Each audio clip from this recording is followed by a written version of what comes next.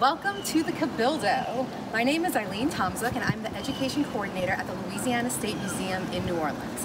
The Cabildo is one of the most important sites in Louisiana history. A government building has stood here for 300 years through French, Spanish, and American rule. This building has been here since 1799. The story of the Cabildo shows how government powers in Louisiana changed over time and how the people here either supported or challenged those powers. This tour will take you through European colonial history in Louisiana, as well as the Louisiana Purchase. We will then explore the uses of the Cabildo through the 1800s, including its time as a prison, a police station, a city hall, and as the Louisiana Supreme Court. You will learn how the events here shaped the city of New Orleans, the state of Louisiana, and the United States of America. Throughout the tour, we'll provide discussion questions. When you see a slide that looks like this, feel free to pause the video and take time to discuss with your class before resuming the tour. The questions will also be provided in a full list at the end of the video. First, we'll talk about the indigenous people of this area and the arrival of Europeans.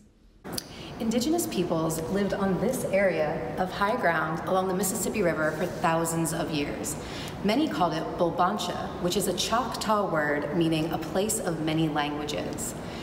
The area's access to the Mississippi River and to the Gulf of Mexico through Bayou St. John, Lake Pontchartrain, and Lake Borgne made this a very popular spot for gathering and trading. The Native American tribes in this area adapted many technologies to the climate and the landscape. Native Americans in this area today still practice many of the social customs, religious beliefs, and artistic traditions that their communities have practiced for generations. Here is a list of the many Native American tribes that lived in Louisiana. In 1682, French explorer Robert Cavelier de La Salle explored the Mississippi River for France. He claimed all lands drained by the Mississippi River for France and named them Louisiane after King Louis XIV of France. However, he did not set up a permanent French settlement at this time. French-Canadian brothers Iberville and Bienville explored the lower Mississippi in 1699. They set up a permanent settlement on the Gulf Coast near present-day Biloxi. This stone is known as the Iberville Stone, and some believe it's the founding stone laid by the brothers at this settlement. Indigenous people showed Bienville this site along the Mississippi River that they called Bulbancha, and Bienville chose it as the site for the city of New Orleans in 1718. Why did access to the Mississippi River and the Gulf of Mexico make this an attractive spot for Native Americans and French colonists? This map from 1720 shows some of the Native American tribes that lived in this region. European colonists negotiated different relationships with different Native American tribes. While some tribes traded with colonists, others fought to defend their lands. Many Native Americans were enslaved, killed, or pushed off their land. The forced relocation of tribes accelerated after the United States gained control of Louisiana in 1803. Today, while at least 18 tribes still reside in Louisiana, the Chitimacha tribe is the only one that still lives on a section of their original homeland. What do you think caused conflict between Native Americans and European colonists? Next, we'll talk about the history of this site during the colonial period under French and Spanish rule. As early as 1721, the French mapped the center of the city as the Place d'Armes, the cathedral, the church rectory, and a government building. These areas would become Jackson Square, St. Louis Cathedral, the Presbytère, and the Cabildo today. The square provided a central gathering place for the new colonists that was overlooked by government, military, and religious buildings. The French plan to place a government building on the location of the present day Cabildo was the beginning of this site's government history, which has lasted almost 300 years. The French controlled New Orleans and Louisiana until 1762. They hoped that this would be a profitable colony. However, establishing the colony relied on bringing enslaved people from Africa, enslaving the local indigenous communities, and shipping vagrants and criminals from France. Therefore, much of the population was here against their will. Maintaining law and order and staying in control was very important to the wealthy French colonists who were here. To that end, they built a military prison and a military police station on this site in 1730. It was rebuilt in 1751. The French police station was known as the Corps de Garde. The five arched windows along St. Peter Street on the present day Cabildo are in the same location as the five windows on the French Garde from 1751. Why do you think the French built a police station and prison at the center of their new city? What purposes do these institutions serve? France ceded Louisiana to Spain in 1762. They wanted to thank Spain for their involvement in the Seven Years' War between France and Britain. They also wanted to keep Louisiana out of British hands. But Spain did not send someone to govern Louisiana until 1766. When the Spanish governor Ulloa arrived, the French residents rebelled. They held a convention in this very square in 1768, rejecting Spanish rule and demanding Governor Ulloa's removal. Governor Ulloa, fearing for his life, fled to Havana, Cuba. This plaque commemorates the French residents' attempt to reject Spanish rule. In 1769, Spain sent Governor O'Reilly to take control of Louisiana. This time, he was backed by 2,600 men and warships. His ship docked on the Mississippi River directly across from the Place d'Armes, and then Louisiana was firmly within Spain's control. Why do you think the French residents rebelled against Spanish rule? This public square was called Place d'Armes by the French and Plaza de Armas by the Spanish. Literally translating to Weapons Square, it was used for military drills and parades. It was also the site for important celebrations or even public executions, all of which were used to demonstrate the government's power and might. Public executions were held in the Place d'Armes in the 18th and 19th centuries. They were warnings to anyone who might break the law or challenge the government's authority. Executions were particularly used to threaten and control black and indigenous communities. Jean Saint Malo escaped from slavery. He started a community in the swamps for others who fled from bondage, known as Maroons. The Spanish authorities arrested Saint Malo, and the town council ordered his execution in this square in 1784. The square was a place to display the government's power, but as demonstrated by the French Rebellion in 1768, it was also a place where residents gathered to challenge that power. How does the historic use of the Place d'Armes differ from the way Jackson Square is used today? Are any of its uses the same? Now we'll learn about the first Cabildo and the current Cabildo.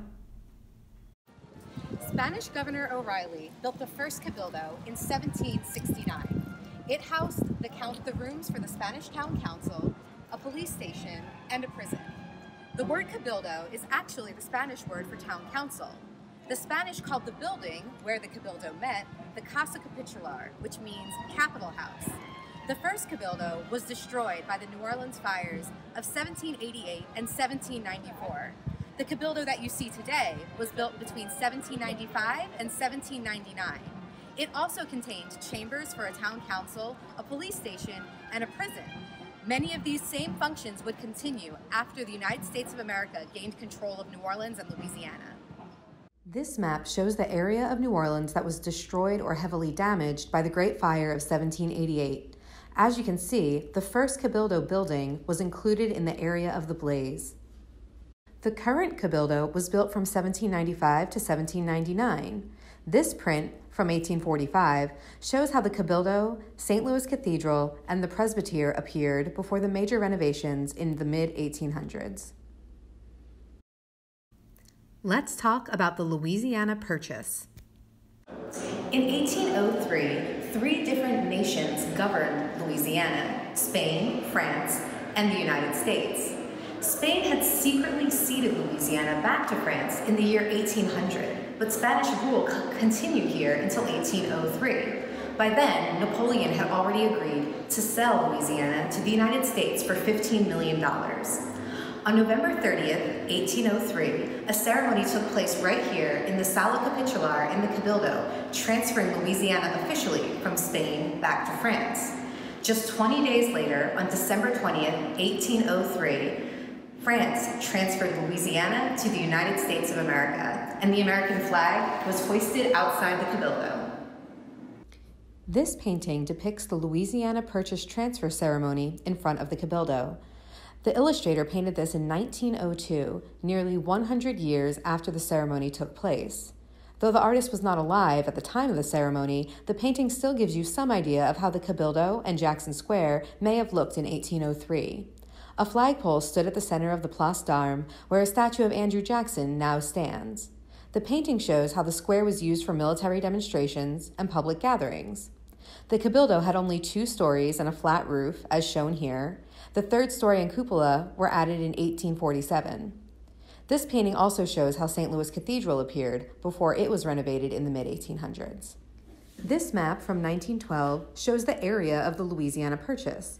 The United States wanted to acquire Louisiana because the country wanted access to the Mississippi River and the port of New Orleans. Just like the French colonists and the Native American tribes before them, the United States knew New Orleans was an excellent location for trade. The Louisiana Purchase doubled the size of the United States of America. Why do you think the Louisiana Purchase is such an important event in the history of the United States? Now we'll talk about how the Cabildo was used after it was built in 1799.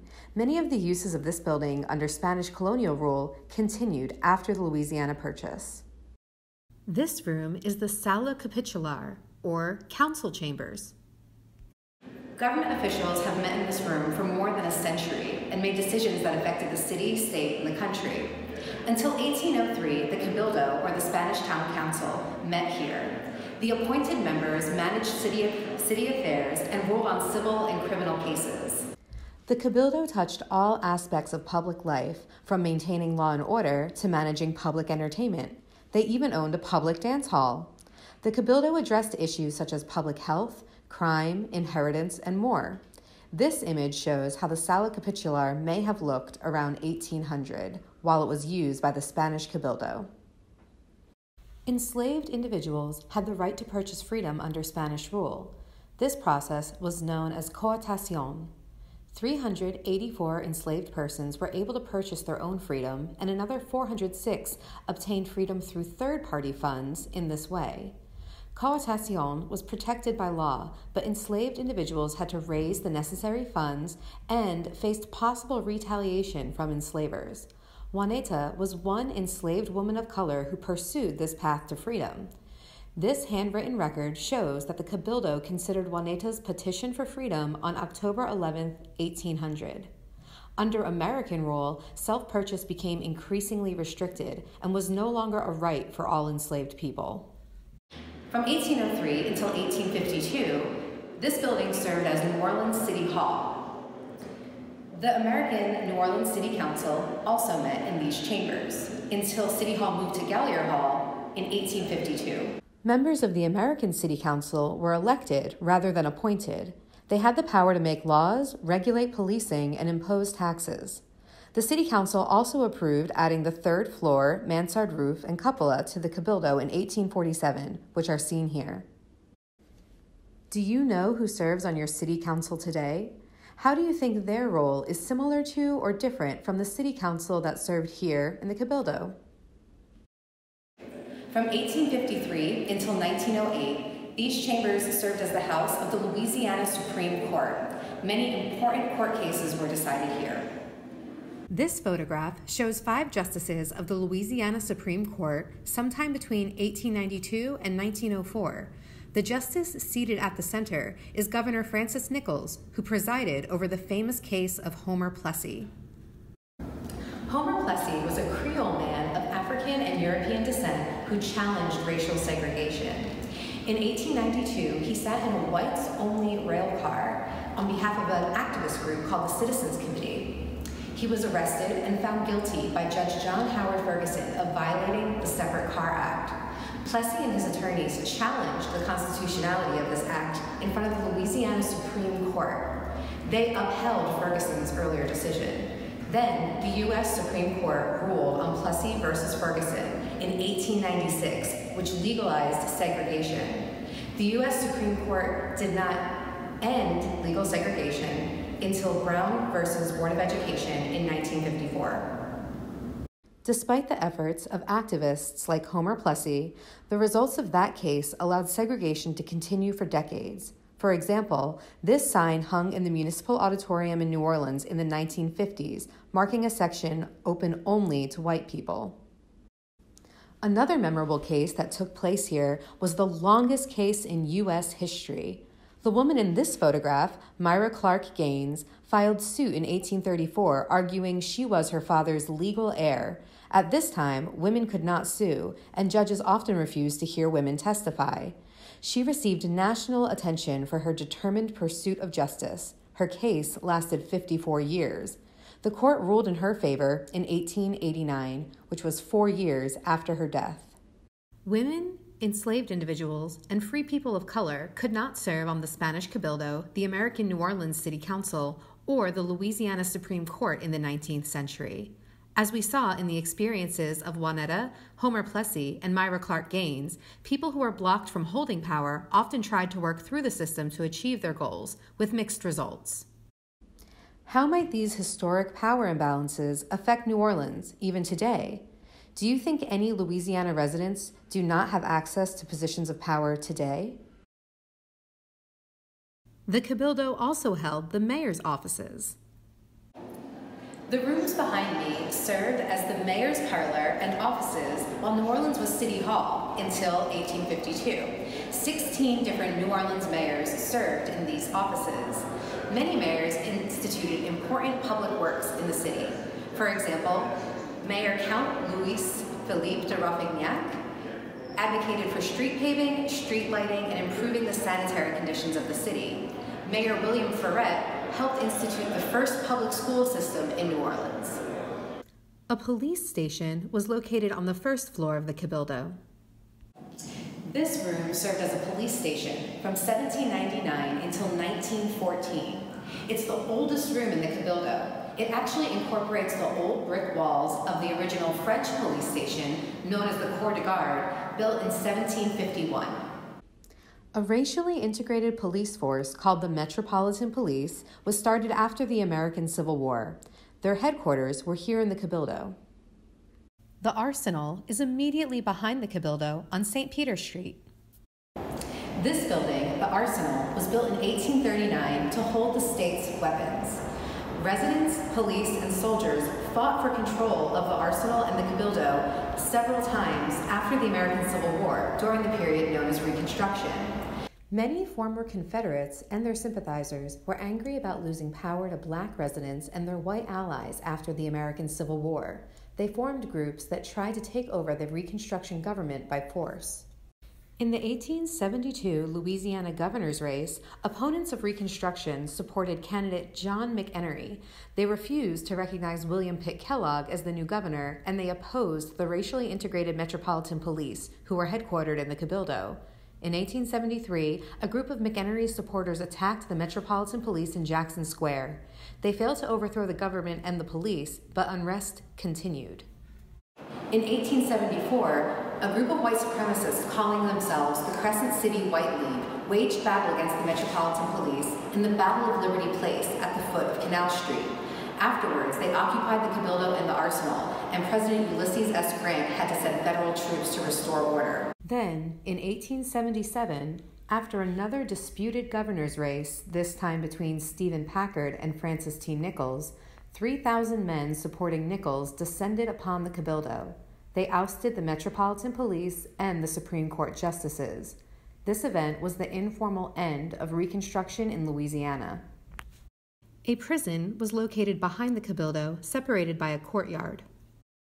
Since 1730, every building complex on this site has included a prison. These cells were built in the 1850s and used until the early 1900s. The prison cells here were often crowded, filthy, and overrun with rats. Archaeological evidence tells us that prisoners passed the time by gambling with pottery shards or marbles. This courtyard separated the lawmakers from the lawbreakers. People could be imprisoned for vagrancy, theft, or violent crime, but others, other prisoners were simply enslaved individuals who had tried to run for their freedom. Notice the iron bars that remain on the windows, which helped prevent prisoners from escaping. The privateer and smuggler Pierre Lafitte was imprisoned here in 1814. He managed to escape. The city offered a $1,000 reward as seen in this newspaper ad, but he was never caught. Pierre and his brother, famed pirate Jean Lafitte, earned pardons by assisting the Americans in the Battle of New Orleans. Enslaved people courageously resisted bondage in many ways, including running for their freedom. If captured, they could be put in jail. This newspaper ad from 1837 describes Malit, a 24 year old woman who spoke French and English and escaped from her enslaver. The ad offers a reward of $10 for capturing Malit and taking her to jail. How did prisons, such as this one, help maintain power structures, such as that between people who were enslaved and their enslavers? Let's look back at what we learned. We learned when European colonists arrived and when power changed between France, Spain, and the United States of America. We learned that this site has had many uses, including a prison, a police station, city council chambers, and home of the Louisiana Supreme Court. We also learned that many different people either enforced or challenged the government here at the Cabildo. What was the most interesting thing you learned about the Cabildo? Hanging above me are the 10 flags that have flown over the state of Louisiana, demonstrating the state's complex history. In the early 1900s, the Cabildo became the Louisiana State Museum. Today, the museum hosts programs and exhibitions that cover Louisiana's history and culture.